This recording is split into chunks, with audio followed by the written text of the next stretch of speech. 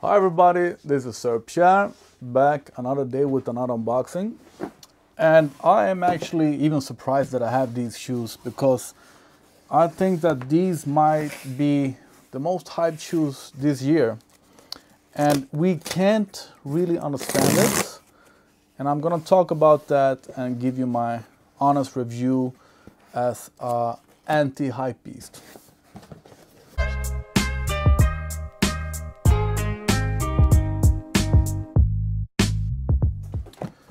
So these are the Air Jordan 1 High Dark Mocha. Uh, they're even called High OG. And uh, of course we get the whole thing that they are very similar in colors to the Travis Scott Air Jordan 1s that were released last year. Uh, so people call them the poor man Travis or poor man Cactus or whatever. Uh, and I can understand that but most of us non, non-hype beast people actually prefer these. Uh, I have seen before we got to see the shoe when we only got the color uh, color code. Uh, there were two mock-ups made and I'm gonna show you pictures of that maybe in the video but at least in the blog post uh, where they looked like these but with brown instead of black and I think I prefer that and um, then we had a, another one that were only sail white with brown swoosh and brown uh, lining maybe. So these shoes, these shoes are the most hyped general general release shoes I have uh, come upon in I don't know maybe ever. I don't know actually what uh, qualifies as a general release today uh, because all Jordans are released in the sneakers app, these as well. But general release is probably when you get them in some stores that uh, doesn't get the hyped shoes, so to say. And these shoes were released in many quantities, I've heard something about a half a million pairs, and I think there is more actually. And the stores that had them, people, at least in Sweden, uh, people were available to buy uh, many pairs, not per person, but in the family, any size, whatever.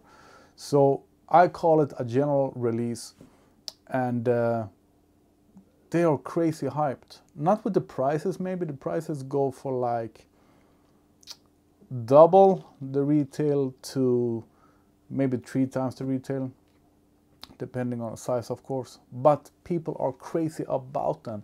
People ask about them all the time. And we got them pretty late here in Sweden. We got them last Saturday. I think you guys in the US got them like at least a full month before maybe two even. So the shoe. Skip all the hype. What do I think about the shoe well, the brown, the dark mocha, is a lot darker than I thought. I would say dark green. I was hoping they were going to be uh, brown like these. You see, uh, I think this is this is mocha also. So I thought they were going to be more brown. They are not. The suede is nothing in particular. Uh, I wouldn't even call it suede. It's uh, brushed leather. Uh, the leather, the sail white leather that are usually always great, and we don't know why, but every time a sneaker is in this sail white color, the leather is wonderful. And here there is nothing special at all. Uh, the side seems to be a little bit softer than the toe box. These are gonna crease a lot. I don't care about that at all. And the black is your typical pleather, maybe a little bit softer than your typical pleather. Uh, but uh, this is a shoe that shouldn't cost, what did we pay here in Sweden? I think we paid $190 or even more because of the tax rate, or oh, sorry, the value rate. So these cost 190 or 180 euro, and I think that is like 210 dollars. this should be your standard Air Jordan 1 that usually cost, I don't know what, what would do the cost anymore, 160 euro maybe? But don't get me wrong, it's a nice looking shoe. I love the sail white, the off-white. I love that color. Uh, I like the brown. I wish it would be more brown. And I think it's gonna going to get a nice patina uh, with a little bit scratches and wear. But I'm glad that it's sail white and not just standard white. And the black, yeah, in hand, I like it. But since I have seen the model, and I'm not talking about the Travis Scott shoe, since I've seen the mock-up where we have brown, black swoosh I think, and brown toe, uh, those looks those look great, and the off-white on those or that creamy uh, milk coffee, really nice. So, but we never got those. That was just a mock-up, and uh, these are nice.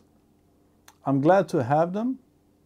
I don't understand the hype, and I think the hype is going to die out very quickly because people understand pretty soon that it's a shoe that are widely widely available. So the most important thing is that the quality is your standard Air Jordan 1 the tongue isn't isn't any usual plush or something. It's just thin as thin as always. Uh, leather is nothing special. The suede I wouldn't even call it suede, but the colors are nice. Uh, black is shiny. The sail white is nice. These are these are dirty, but this leather, this is the best Air Jordan 1 ever. And they are not quite that color, but still nice. And I don't have too much more to say about them. You have seen a bunch of videos from all the other hypebeasts just loving the shoe. And uh, I'm glad to have them. If the Travis Scott shoe and this one were the same value, I would absolutely choose this one because I really don't like that reverse swoosh. I do like that the Travis Scott has a brown toe as well, but that reverse swoosh, it, it messed it up for me. So let's put them on, see how they are in size. It is a Air Jordan 1, it should be true to size. I don't think there should be anything uh, wrong with that.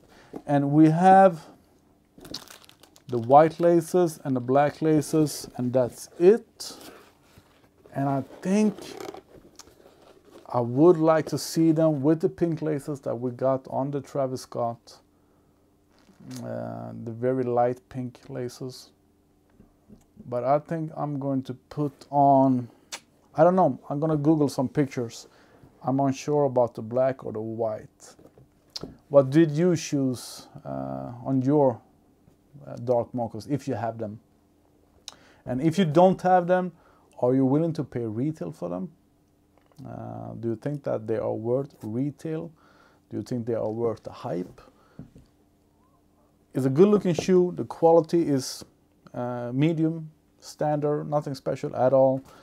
Um, it's just that the color codes reminds us of the Travis Scott shoes.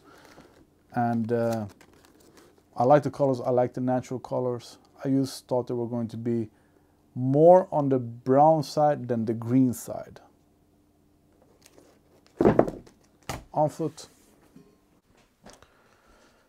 I chose black laces because I think the shoes look more uh, adult, more classy with the black laces than with the white laces. And uh, I thought of the black toes, which I really think should have black laces. So, And if they are not true to size, I would be very surprised and very disappointed. But so far so good.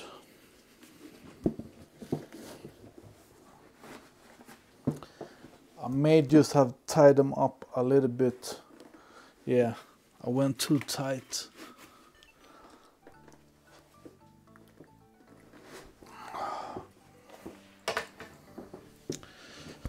but except from me tying them too tight they are absolutely true to size and feel quite comfortable right away uh, as I've said in my earlier videos for you 3% that aren't new I actually like it when we have this harder leather what I call pleather uh, because the, it makes the shoe much more sturdy and I like that. The only thing that I don't like is when you walk and uh, the harder leather cuts in in your big toe. Uh, the softer leather does not do that. So Air Force One and and the bad Air Jordan 4 always do that. But they look good, really good. They look classy. They look almost high-end, stylish.